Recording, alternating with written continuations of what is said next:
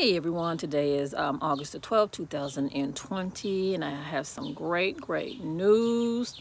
My promotional um, commercial video is now complete. I sent it over to my technical team who will upload it on my YouTube page. I also sent it over to a young woman um, who has a ministry that will be uh, coming out on a global uh, television network and I sent that over to her so that her editor can edit in my commercial into her uh, ministry program.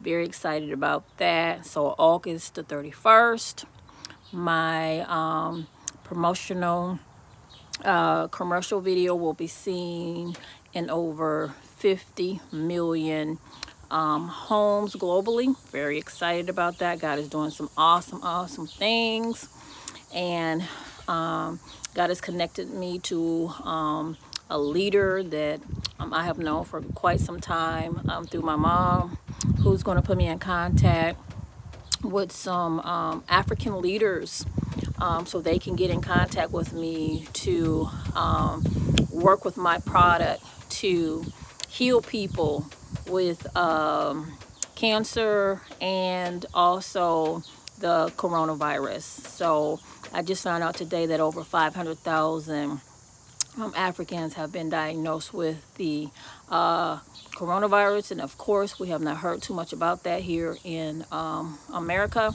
keeping that kind of hush hush. So God is asking me to get involved and to be a blessing to uh, humanity. And of course, it's always a yes from the Lord, always a yes. And you know, the Lord helped me create the product. So my products and everything that I do for Lord, it's on assignment. So today is a great, great day. I'm excited about the things of God. I'm excited about what God is doing uh, in my life. God bless you.